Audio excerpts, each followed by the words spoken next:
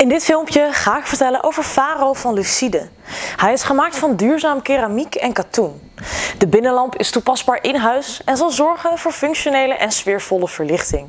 Het vermogen is maximaal 40 watt met een E14 fitting. De lichtbron is er niet bij geleverd. Ik heb er een LED-lichtbron in gedaan van 0,9 watt. Dat lijkt heel weinig, maar zoals u ziet zal het zorgen voor voldoende functionele verlichting. Deze Faro is perfect voor elke leefruimte waar rust en ontspanning centraal staat. Ik heb hier de blauwe uitvoering, maar hij is ook nog verkrijgbaar in de kleuren zwart, lichtblauw, wit, rood, beige, geel en grijs. Wilt u meer weten over de Faro van Lucide of wilt u hem gaan bestellen? Ga dan naar onze website lampentotaal.nl.